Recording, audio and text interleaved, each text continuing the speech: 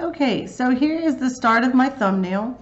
And what I am trying to plan out in this thumbnail is simply where am I going to put my letters? So my last name is Burgess. So the first five letters that I need, I need five letters, are B-U-R-G-E. So I've already kind of placed them in. I did not spend a lot of time doing the perspective because you're going to do that on the big paper. This is more about placement. I started to place my letters and kind of marking them in where I want them.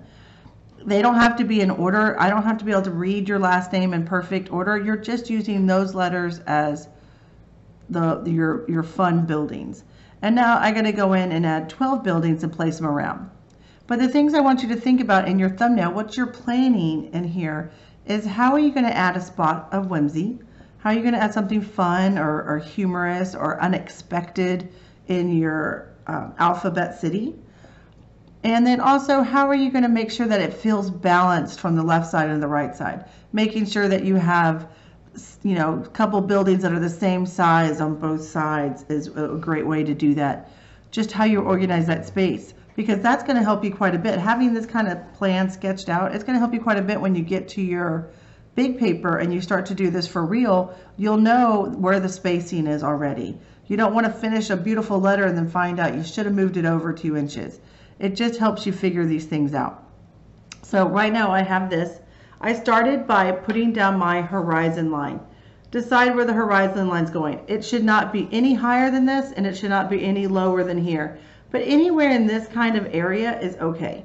You can have it low. If you have it low, it's going to look like you're flying it on an airplane. If you have it high, it's going to look like you're more in the city, depending on how high or how big you draw your buildings. So you definitely, you know, I, I, going low is probably the harder option. Okay, so the next thing is filling in all the space around the letters. Students have a hard time doing that and I want to show you how you can break that space up pretty quickly. So first of all, you have all the negative space here, all this negative space here, and then there's lots of space over in here, okay? So as I'm adding buildings, I want to think about that space. So first thing I might want to do is maybe I add kind of like an idea of a second street, and I'm going to put a building way over here. You know, I can put some buildings here. I'm not worried too much about where what those buildings look like yet. I'm more thinking about placement of some buildings. Maybe I want to break that space up and put a building over in here. Um, so now I have two. We can definitely put several over here.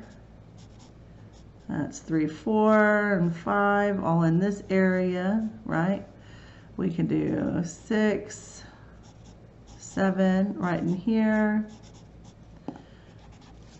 So that's seven buildings already.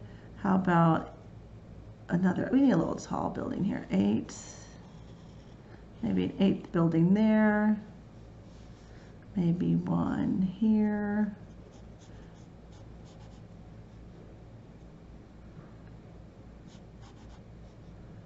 Actually, I think that would look better all the way down here in that space. There's another one maybe one over here going off the page. Um, maybe we see the bottom. This is the bottom. Maybe we see a bottom of this one. All right, and then we can even add more. We Now, the other thing I need to do is think about what's going to be my element of whimsy. And whatever that may be, I think I may end up with, um, maybe I could do something fun, like instead of a sun, instead of a sun, maybe I have something else like, um, I don't know, it could be a cheese wheel or maybe it could be, um, I'm going to do a bicycle rim. So I could just have fun with something different over here, like some kind of spoke thing happening. Oh, maybe it'll turn into an orange. I'm feeling kind of an orange here. So maybe what I can do is sitting on this one, I can have a fruit alphabet place. So I can have an apple sitting on top of this one. Maybe I have um, you know, bananas. Maybe I stick some bananas onto some buildings. A little bunch of bananas in here or something. Different things. So I'm going to end up with a fruit city. So maybe over here I have, um, and here maybe it's not a street, maybe it's a juice river. So maybe I put like a canoe. Maybe I do something more like a canoe going, floating down, little person sitting there, rowing. down a juice river or something like that. So that's kind of a fun spot of whimsy, nothing too major. So again, for that thumbnail, what I'm looking at for the most part is that you find where you're going to put your 12 buildings, find where you're going to put your five letters, and what is your spot of whimsy. How can I make this, this um, you know, have some details and things like that. Now here's the thing, this thumbnail is not too perspective, it's not perfect. I'm pretty good at guessing, so I kind of guess where everything goes. But at the same time, I can do some fun things. Like maybe I want a bridge.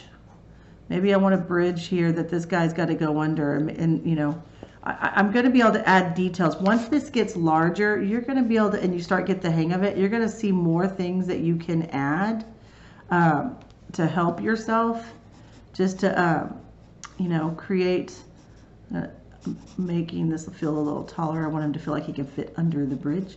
But um, you can do things like that to embellish it and you'll end up with more space to do more things as you are working. So the thumbnail, really looking at your idea, what is your spot of whimsy? What letters are you using and your what buildings are you using and how are you going to arrange them to feel balanced?